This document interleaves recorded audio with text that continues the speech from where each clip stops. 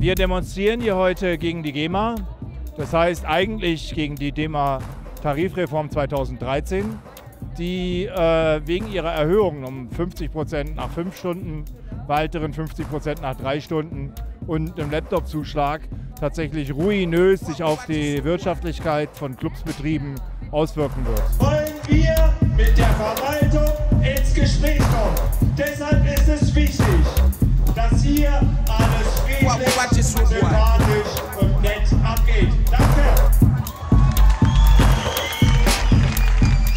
zahlen im Moment 10.000 Euro flat im Jahr. Das ist seit zehn Jahren. Seit zehn Jahren gibt es uns.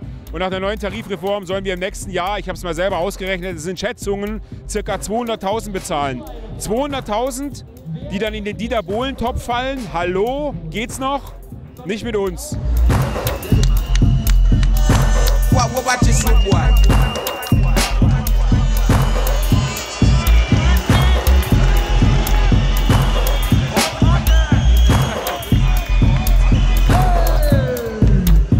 Das Geld, was die GEMA jetzt fordert nach dieser Erhöhung, ist einfach dermaßen viel, dass äh, das Jahr schließen wird.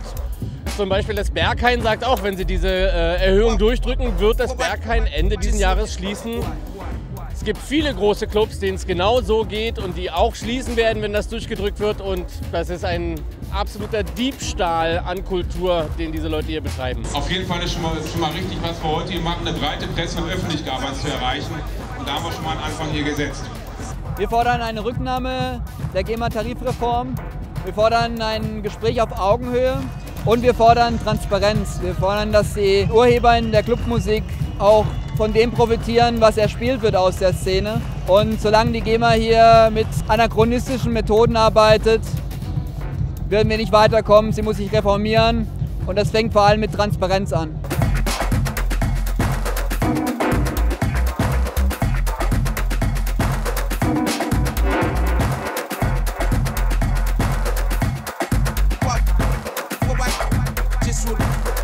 what, what, what.